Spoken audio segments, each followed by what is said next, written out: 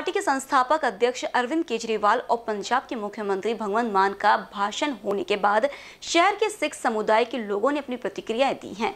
सिख समुदाय से बातचीत किए हमारे संवाददाता संजय मिरे। इन्होंने, आइए देखते हैं।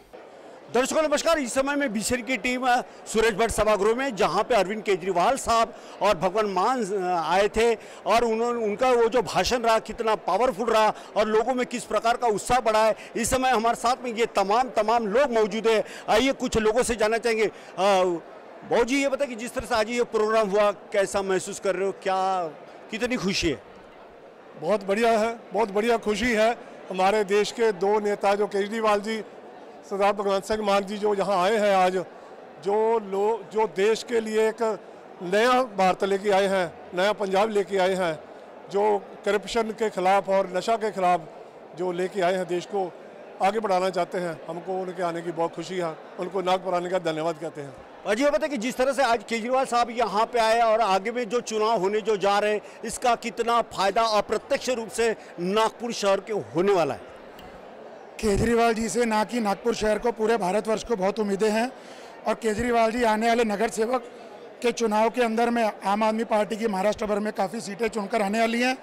और आज यहाँ पे बड़ी संख्या में जो सिख एकत्रित हुए हैं, हमारे पंजाब के जो सीएम साहब भगवंत मान जी आए थे, हमने उनको अपने एक मैसेज देना था कि जो पंजाब की नौजवानी के ऊपर बीजेपी शासित सेंटर की सरकार जो गिद्ध रूपी आग रख के बैठी है, उसको नौजवानी को इन गिद्धों से बचाया जाए। भगवंत मान जी से हमने सबने ये रिक्वेस्ट की है कि देश को सही दिशा की ओर ले जाया जाए।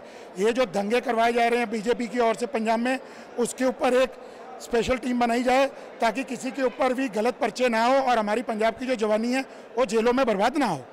बिल्कुल चुनाव तो नज़दीक में है, लेकिन अभी तो केजरीवाल साहब खुल के बात नहीं किए मगर कहीं ना कहीं ये अंदेशा ज़रूर हो गया और कार्यकर्ताओं को देखते हुए उनका जो उत्साह है और एक ही बात लोगों के दिल से निकल रही है कि आने वाले चुनाव में हर कोई केजरीवाल के साथ साथ देना चाहता है और इस देश से करप्शन हो, महँगाई हो, भ्रष्टाचारी हो, बेरोजगारी हो या धर्म धर्म में जो एक टेढ़ जो निर्माण किया जा रहा है, वो उसको पूरी तरह से खत्म करके सर्व धर्म समभाव ये भारत के लिए काफ़ी मज़बूत करना होगा और इसी के लिए ये एक पहल की गई है और सब लोग आने वाले चुनाव में बिल्कुल आम आदमी पार्टी के साथ खड़े, कंधे से कंधा मिला के खड़े रह गए। ऐसा ही कुछ ये पूरा माहौल देखते हुए लगता है और लोगों ने जो जब हमने दर्शकों से बात की, उन्होंने भी यही बात कही है। अब देखना ये होगा कि घोड़ा मैदान आगे में है, क्या होता है, क्या नहीं, मगर एक बात तो है कि कौन कहता है कि आसमान में सुराग नहीं होता? एक पत्थर तो तबीयत से उछालो यारो।